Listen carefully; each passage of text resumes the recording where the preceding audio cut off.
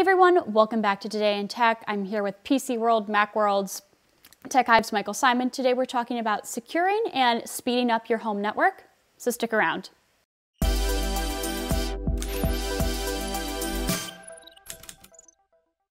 Mike, thanks again so much for calling in once again. Really appreciate it. As we all know, I'm working from home, you're working from home, and we're all working off of our home Wi Fi networks. For the most of us, I have to assume. Yeah, and uh, you know we're really testing the like the global capability of the internet. It's it's it's amazing. You know, Netflix and Disney and, and all these streaming services have had to dial back their the quality of their of their streams because like we're we're reaching a limit of what the what the pipe what the internet pipe can handle. It's it's, it's remarkable. Yeah, I know. I've got a lot of um, Netflix watching to catch up on. I have not done Tiger King yet. I haven't either. I haven't seen it either. I, I, I see every every time I log into Twitter, someone's talking about it, but I have not watched it yet. So while we're all at home, not just watching Netflix all day, we are indeed working, or perhaps you're going to school, you are going to be relying on your home Wi Fi network a lot more than you would have in the past. I mean, you're home for, you know, in theory, eight more hours a day if, you, if you're used to working in an office. Yeah, and everyone in your house is using it at the same time. yep.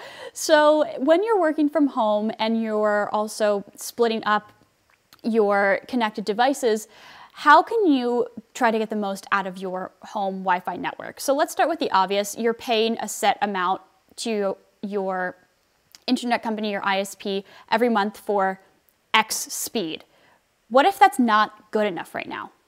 I mean, it depends on what you're doing on an average basis. Most people in this in most people in the US probably have around 25, an average of 25 megabits per second, which is plenty mo- you know, for most things that you want to do, whether it's, you know, video conferencing and, you know, light browsing and email and all these things that you need to do, even, you know, schoolwork. Uh, a lot of these schools have, have online portals that you need to log into.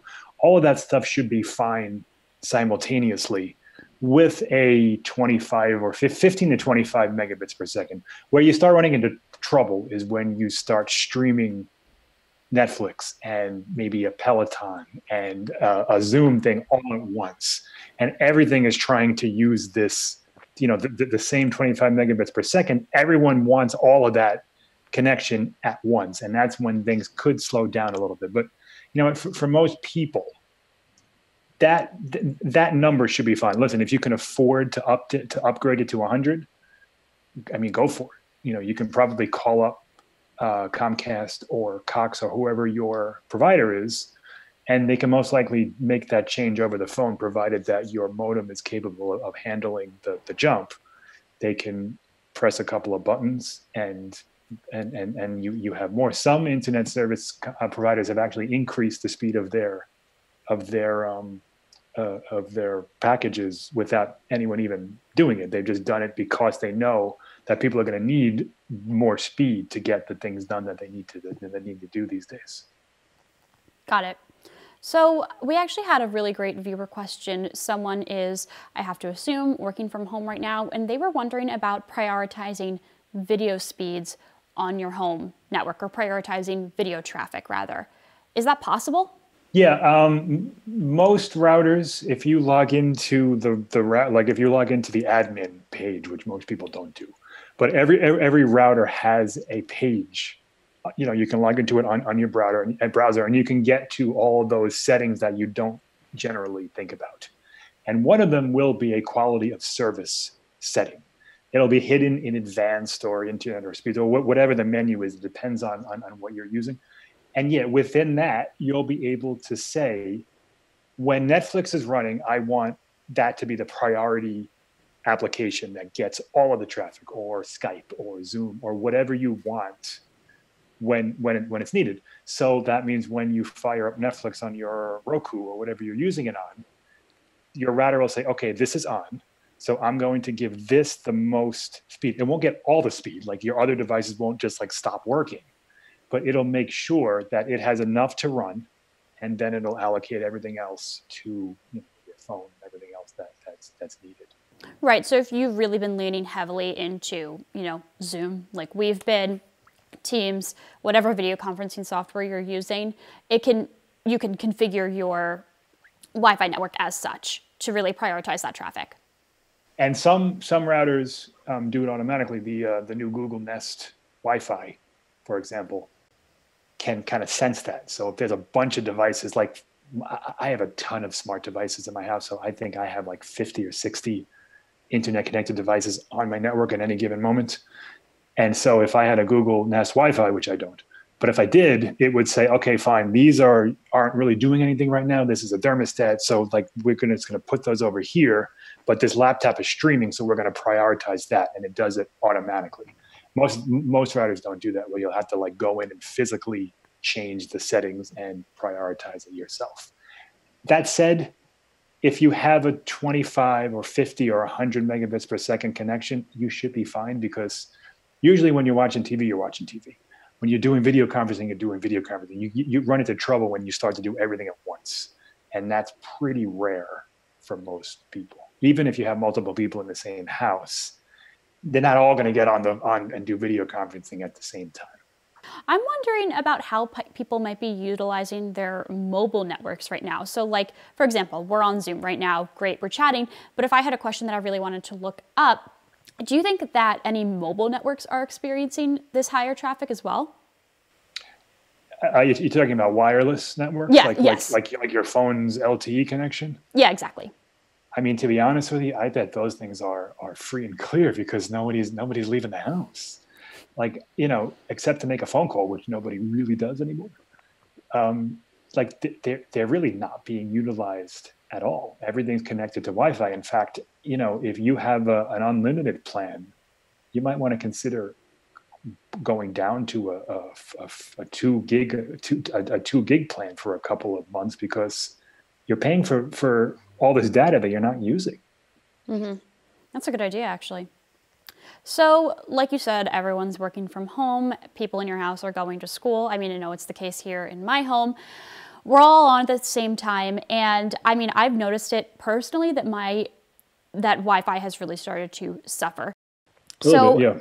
So, how can you go and really just get the most out of your Wi Fi network when everyone in your house is working from home or they're on school and you have multiple devices connected? I mean, sometimes I've got my laptop running, but I've also got my desktop computer that I hauled from the office that's upstairs, and I'm also using that. So, how can you make sure that each device is getting the most out of your network? Yeah, I mean, the, the biggest thing, short of going out and buying something new, which you can do, you can buy a new mesh router system if you don't have one, which are great. Or you can get a new modem that um, maybe um, you have a modem that's five or seven years old that isn't capable of, ha- of, of actually handling the speeds that's coming into your house. Both of those things are, are possible, but if you don't want to spend any money, I mean, something as simple as checking where your wireless router is positioned is extremely important. Most people put them in a, in a closet or a cabinet, and you're blocking the signal. Like, I know they're ugly, and I know you don't want to put them on a shelf or next to your TV or whatever you do, but you know, in my house, in fact, you can see one right behind me. There's that's that's my router, because if I put it in a in a cabinet or in a in a drawer, it might be hidden and look nicer, but it's all you're, also you're, you're cutting down the speeds that you're getting. And you know, I, I had a friend like this is a true story. I'm, I'm not I'm not making up this anecdote.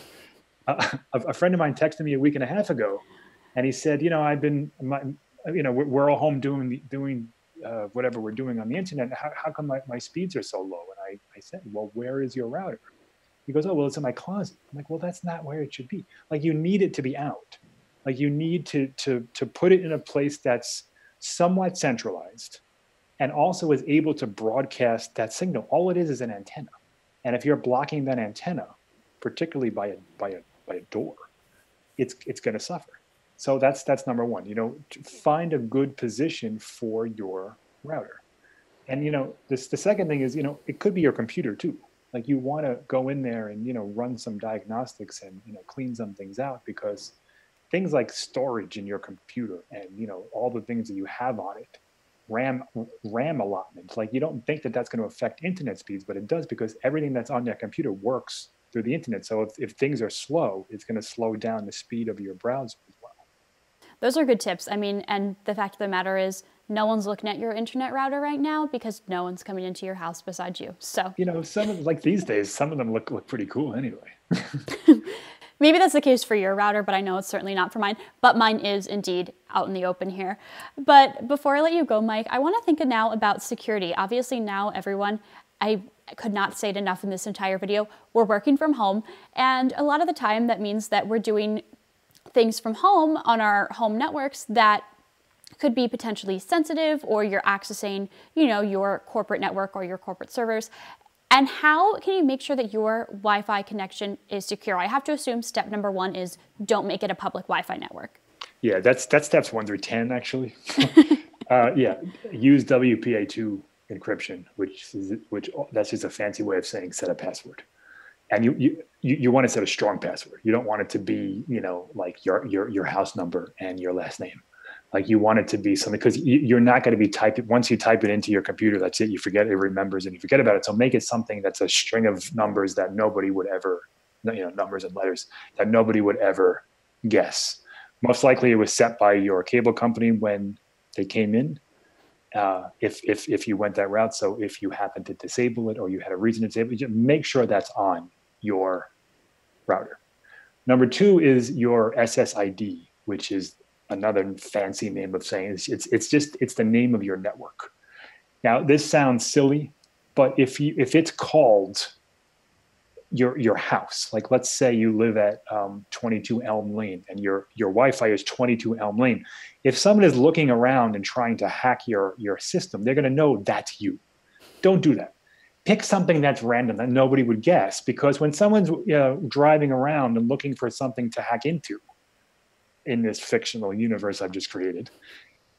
Uh, and you know they see a bunch of names, and if they see one that's obvious, they're going to know that how to target and who to target. So keep it keep it random, keep it keep it vague.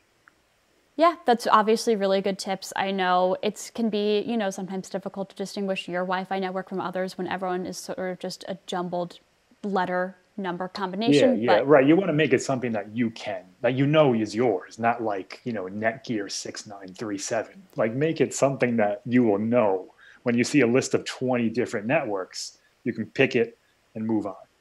And, you know, I mean, the, the, the, as you said, these are obvious tips, but, you know, short of getting a, a NAS server or uh, setting up firewalls in your house, there, you know, in, in, encrypting your home network is extraordinarily simple people aren't generally looking and driving around and trying to hack individual houses. It just doesn't really happen.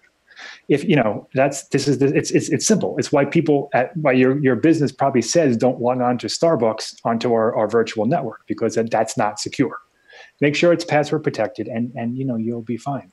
And you know make sure you sign out of your company's VPN before you start doing your personal things as well you know, use that for work, shut it down, and then go off on, uh, on the rest of your day.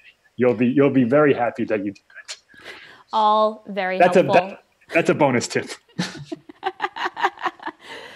you know what? I'm sure our viewers really appreciate that. It is good advice all around. So thank you so much, Mike. Really appreciate you calling in once again. Thanks. And thank you all so much for watching this episode of Today in Tech. If you liked this video, be sure to give it a thumbs up and subscribe to our channel. And if you have any comments or questions about securing your home network, any tips that we may have missed, please leave a comment below. Thanks again so much for watching, and we'll see you next time.